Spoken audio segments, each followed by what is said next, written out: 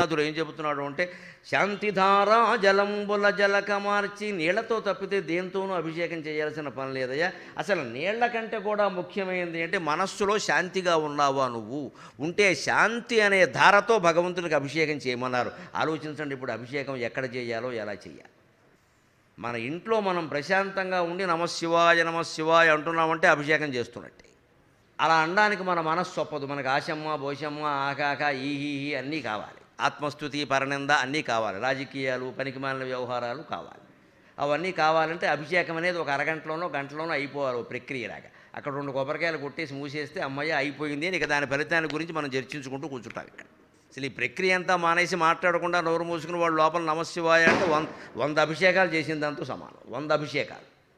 అదే చెబుతున్నాడు ఇక్కడ శాంతిధారా జలంబుల జలక మార్చి నీ మనస్సులో శాంతిగా ఉన్నావా ఆందోళన లేకుండా ఏ మనస్సులో సంతృప్తి శాంతి ఉంటుందో అక్కడ భగవంతుడు ఉంటాడు. శివుడైనా విష్ణువైనా అతను అక్కడ ఉంటాడు. మనం అందరం మనస్సులో శాంతిగా సంతృప్తిగా ఉంటే సమాజం ఎంత సంక్షోభంలో ఉంటుందండి అసలు? శాంతిధారా జలంబుల జలక మార్చి భవుని పూజించే భావ పుష్పముల భక్తి. అక్కడ పుష్పాలు పెట్టేట గుణనిధి కుబేర రూపంలో. ఏ పుష్పాలు పెట్టేట? ఆలోచన అనే పుష్పం పెట్టేట. ఆశ్చర్యకరమైన విషయం ఇది. భావ పుష్పాలు శివుడికి ఆ పువ్వు ఇష్టమా ఈ పువ్వు ఇష్టమా అని మనం ఆలోచిస్తాం. అసలు ఏ పువ్వు ఇష్టమని ఆలోచించకంటే పొరపాటున మొగల పువ్వు పెడతావేమో అని ఎంత జాగ్రత్త తీసుకుంటామో. కొంపలు అంటుకుపోయినట్టు. కానీ మొగల పువ్వుని ఆయన ఎందుకు వ్యతిరేకించాడనే విషయం మనం పట్టించుకోవడం చాలా తెలివైన వాళ్ళం మనం. అబద్ధం ఆడొద్దు అనే కథ పక్కకి వెళ్ళిపోయింది. మొగల పువ్వు పెట్టద్దు ఆవు ముఖం చూడొద్దు ఈ రెండు మిగిలే మనకి. ఆవుకి ఎందుగా శిక్ష వేశారు? మొగలు పువ్వుకి ఎందుగా శిక్ష వేశారు? అంటే అబద్ధం ఆడినందుకు? అంటే మనం జీవితంలో పాటించాల్సింది అబద్ధం ఆడకుండా ఉండడమా? వారి మొహం వీరి మొహం చూడకుండా ఉండడమా? ఈ భౌతిక ప్రక్రియకి మనం ప్రాధాన్యం ఇస్తామండి. ఆధ్యాత్మికత వెనకాల ఉండే చైతన్యాన్ని వదిలేస్తాం. చాలా సౌ తెలివిగా చేస్తాం. ఇది అజ్ఞానం అనుకో దయచేసి చాలా కన్వీనియంట్లీ ఎస్కేపింగ్ అంటారు దీన్ని ఇంగ్లీష్లో. సుఖంగా ఎగ్గొట్టేస్తాయి. ఎందుకంటే అది మనకి ఇష్టం లేదు. ఆలోచనలనే పుష్పాలతో భగవంతుడిని పూజించడం అంటే ఏమిటండి? ఆలోచనలు ఆయన పాదపద్మాల దగ్గర పెట్టడం. పువ్వులు ఎక్కడ పెడతాం మనం? భగవంతుడి పాదాల దగ్గర పెడతాం. మన ఆలోచనలన్నీ ఆయన పాదాల మీద ఉండాలి. వేరే విషయం ఏది ఆలోచించద్దు. దీపం పెట్టినా సరే పూజ చేసినా సరే ధ్యానం చేసినా సరే పారాయణ చేసినా సరే. ఆలోచనను ఆయనకి సమర్పించాలి అంటే ఆలోచించకుండా ఉండాలి. ఆలోచన ఆపడం చాలా కష్టం అంటాం. నిజమే చాలా కష్టం. ఆలోచన ఆపడం చాలా కష్టం. ఎందుకంటే ఆలోచనే మనం. మనస్సు ఎప్పుడు చిన్నపిల్లాడు లాంటిది. చిన్నపిల్లాడు అటు తిరుగుతాడు ఇటు తిరుగుతాడు వాడిని కట్టేయాలంటే చాలా ఇబ్బంది. ఓ చోట ఉండమంటే ఉండడు.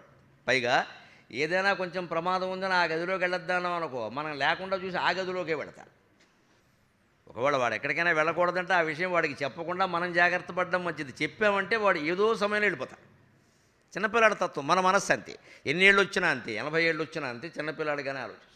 చిన్నపిల్లాడు ఆడుకుంటాడు బొమ్మలు కావాలి తప్పదు వాడికి ప్రమాదం జరగకుండా ఉండాలి మంచి కాలక్షేపం ఉండాలంటే మనం ఏం చేస్తాం?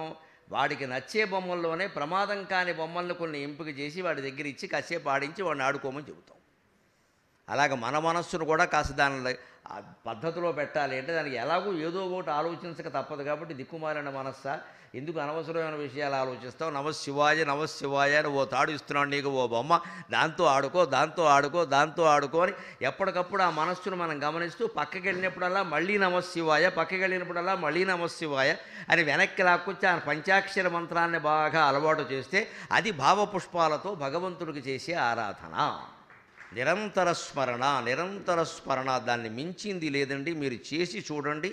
నిరంతర స్మరణ అనేది వీలైనంతసేపు చేసి చూడండి. అనుకోకుండా శుభాలు జరుగుతాయి అశుభాలన్నీ వెనక్కి వెళ్ళిపోతాయి. మీరు ఏం ప్రయత్నం చేయక్కర్లేదు.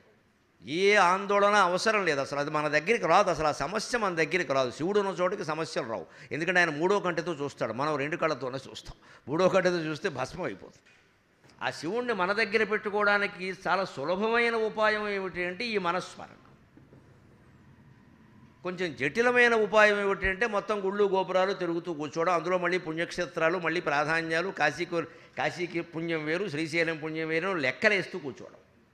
ఈ లెక్కలు ఎప్పటికీ తెమలవు. పైగా ఈ లెక్కలో చాలా అహంకారాలు ఉంటాయి. నేను ఏటా కాశీ పెడతానంటాడు ఎందుకు? ఆర్టీసీ బస్ స్టాండ్కి వెళ్ళడానికి దీనికి తేడా ఏం లేదు. ఎందుకు ఏటా కాశీ వెళ్ళడం పని లేక?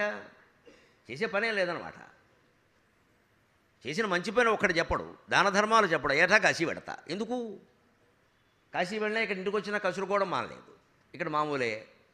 పైగా కాశీ పెడుతుంటే అడ్డం వచ్చామంటాం. అసలు వెళ్ళడం ఎందుకు? తొమ్మిది రోజులు ఉండడం ఎందుకు? వెళ్ళాక మానుకోవలసింది. ఈ ప్రక్రియ ఏది అసలు మనం ఆలోచించాం? వెళ్ళడమే గొప్ప మనకి. ఇదే అజ్ఞానం అంటే ఇదే. చే- చేతస్థం అంటే ఇదే. తొమ్మిది రోజులు ఉన్నాము అంటే ఖచ్చితంగా ఏం చేయాలో శంకరాచార్య వేదాంత రెండుమలో చెబుతారు. షణ్ నిఘత్య త్రయం హిత్వా ద్వయం హిత్వా అఖిలాతికం ఏకం బుద్ధ్వా అశ్రుతే ఇది వేదాంత రెండిమఖ. ఆ రోజుల్లో అరిషడ్ వర్గాలు వదిలేయమని చెప్పారు. కామక్రోధ మతం మతమాశ్చర్యాలు ఆరు రోజుల్లో వదలగలవా? ఆరు జన్మల్లో వదలగలవా? ప్రయత్నం చేయి ఆరంకికి అర్థం అది. ఆ పైన మూడు అంటే త్రిగుణాలు సత్వరజస్తమో గుణాలు. ఈ ఆరు శత్రువుల్ని ఆరు గుణాలని వదిలేయగలిగితే తొమ్మిది రోజులు లెక్క. అది తొమ్మిది రోజులు పడుతుందా? తొమ్మిది నెలలు పడుతుందా? తొమ్మిది జన్మలు పడుతుందా అంటే శివుడికి తెలియదు మనకేం తెలుస్తుంది? ఇది తొమ్మిది రోజుల వ్యవహారం. తొమ్మిది అంటే అర్థం అది. స్పష్టంగా చెప్పారు. షణ్యహత్య ముందు ఆరింటిని సంహరించు. కామం క్రోధం లోభం మోహం మదం మాత్సర్యం ఎక్కడెక్కడ వస్తున్నాయో గమనించుకో. వచ్చిన ఆలోచన వచ్చినట్టే తుంచేయి. ఏదొచ్చినా సరే. దాన్ని ఎదగనీయకు పెరగనీయకు. బలవంతంగా అడ్డుకోవాల్సిన పనిలే. పట్టించుకోకుండా ఉంటే చాలు. ఆలోచనలు ఎప్పుడూ అతిథులు లాంటివి. పట్టించుకుంటే ఉంటాయి. పట్టించుకోకపోతే వెంటనే వెళ్ళిపోతాయి. మన ఇంటికి చుట్టాలు వచ్చారు. పట్టించుకుంటే నాలుగు రోజులు ఉంటారు. మొదటి రోజు కాఫీ ఇచ్చిన తర్వాత పట్టించుకోకపోతే సాయంత్రం వెళ్ళిపోతారు. అప్పుడు ఆ ఆలోచనలు భగవంతుని ముందు పెట్టడం అంటే ఆలోచన లేకుండా చేసుకోవడం. భావపుష్పముల భక్తి. ఆలోచనే లేకుండా చేసుకోవడం అలా చేసేట ఎలా చేయగలిగట్టే చివరి పాదంలో చెబుతున్నాడు అతి విశుద్ధ మనోవృత్తి యజ్ఞదత్తి. చిత్తశుద్ధి కారణంగా ఈ పని చేయగలిగాడు విశుద్ధ మనోవృత్తి అంటే అర్థం అది. చిత్తశుద్ధి కారణంగా ఈ పని చేయగలిగాడు. మనం ఈ దీపాల వల్ల స్నానాల వల్ల పూజల వల్ల యాత్రల వల్ల తీర్థాల వల్ల మనం ఎక్కువలో ఎక్కువ పొందగలిగే ప్రయోజనం ఏమిటంటే చిత్తశుద్ధి. మోక్షం మాత్రం రాదు. మనం అనుకుంటాం చిత్తశుద్ధి అంటే మంచి ఆలోచనలు ఉండడం మంచి ఆలోచనలు ఉండడం కాదు. ఏ ఆలోచన లేకపోవడం చిత్తశుద్ధి. శుద్ధి అంటే మొత్తం ఖాళీ. చిత్తశుద్ధి అంటే చిత్తాన్ని ఖాళీ చేయడం. ఎందుకంటే మనం చేసినటువంటి ప్రతి పనిని మనం జ్ఞాపకం రూపంలో మనసులో పెట్టుకుంటూ ఉంటామండి. మనం ఆలోచించినప్పుడు తర్క వితర్కాలు చేస్తామే అవును కాదు అంటూ అప్పుడు అది మనస్సు. ఏదో ఒకటి చేయాలని నిర్ణయించుకొని ఒక నిశ్చయానికి వస్తామే అప్పుడు దాని పేరు బుద్ధి. ఒకే పదార్థం పేరు మారుతుంది. పెళ్ళి కాకముందు కన్య అంటాం. పెళ్ళి అయితే ముత్తైదు అంటంలో? ఆవిడే మనిషి మారలేదు. స్థితి మారింది. ఎందుకని పేరు మార్చామా లేదా? గంగానదిని పైన ఉంటే మందాకిని అన్నావు. భూలోకానికి వస్తే గంగా భాగీరథి అన్నావు. పాతాళానికి వెడితే భోగవతి అన్నావు. గంగానదిగా ఆవిడ పవిత్రత మారలేదు రూపం మారలేదు స్థానాన్ని బట్టి మారింది. ఇది అంతే. ఆలోచనలు అవునా కాదా? మంచిగా చెడ్డా అని తర్కిస్తున్నప్పుడు దాని పేరు మనస్సు. ఒక నిశ్చయానికి వచ్చాక దాని పేరు బుద్ధి. దాన్ని ఆ చేసిన పనిని వదిలేయకుండా మళ్ళీ లోపల ఓ కుక్కుతూ ఉంటామే దాని లోపల పెట్టుకుని ఎవరన్నా రాగానే ఇందాక ఏం జరిగిందో తెలుసా? ఇదే పెద్ద పెంట ఇప్పుడు తెలవాల్సిన అవసరం లేదు ఆయన మనం అడగలేదు ఆ విషయం. ఎందుకంటే మన గొప్ప చెప్పాలి అక్కడ. అదే అవమానం జరిగితే చెప్పం. ఎవడో వచ్చి గోమే కొడితే చెప్పం. అంచేత చిత్తశుద్ధి అంటే మొత్తం చిత్తంలో ఆలోచనలన్నీ బయట పెట్టేయడం తీసేయడం. అంతేగాని మళ్ళీ మంచి ఆలోచనలు ఉండడం కాదు. ఈ యాజ్ఞదత్తి కుబేరుడుగా ఉన్నవాడు అన్ని ఆలోచనల్ని బయట పెట్టేశాడు. అంచేత శివ పూజలో మనం భగవత్ పూజలో పాటించవలసింది ఏమిటంటే ఈ చిత్తశుద్ధి అన్ని ఆలోచనలు పక్కన పెట్టేసి భగవత్ పూజ చేయాలి ఏదో మనసులో పెట్టుకుని బాధపడుతూ ఇది అవుతుందో అవుతుందో అవదో నేను కుడివైపు దీపం పెట్టా ఎడవైపు ఎడమవైపు దీపం పెట్టా శుక్రవారం తీసేసాను పొరపాటున నిర్మాల్యం కొంపలంటూ అమ్మవారంత రాక్షస నాకు అర్థం కాదు. కక్ష కడుతుందా ఆవిడ శుక్రవారం తీసావు చంపేస్తానని చెబుతుందా? దాన్ని అన్ని శంకలు పెట్టుకుంటా ఉండే మనం మనసులో. మంగళవారమా శుక్రవారమా సతంతువా వితంతువా ఎన్ని గొడవలో ఇవన్నీ పెట్టుకుంటాం అసలు. అందుకని ఆ నిర్మాల్యం ఎందుకు? పూజ ఏమిటి అని ఆలోచించి చేయి మనం. నిన్నటి పూజ చేసిన నిర్మాల్యం తీసేస్తే కానీ దేవుడి విగ్రహం కనపడదు కదా? మనందరికీ తెలుసు. దేవుడికి పూజ చేశామండి. ఏవో నాలుగు పువ్వులు ఆకులు వేసామండి ఆ విగ్రహం కాస్త కప్పినట్టుగా అయిపోయిందండి. అది నిర్మాల్యం అంటాం మనం. మర్నాడు పొద్దున్న అవి తీసేస్తే కానీ దేవుడు కనపడ్డు కదా? అంచేత నిర్మాల్యం తీస్తే కానీ దేవుడు కనపడ్డు అంటే నిర్మాల్యం అంటే ఏమిటి? నిన్నటి జ్ఞాపకాలు. నిన్నటి జ్ఞాపకాలు తొలగిపోతే కానీ ఆత్మలో ఉండే శివలింగం కూడా కనపడదు.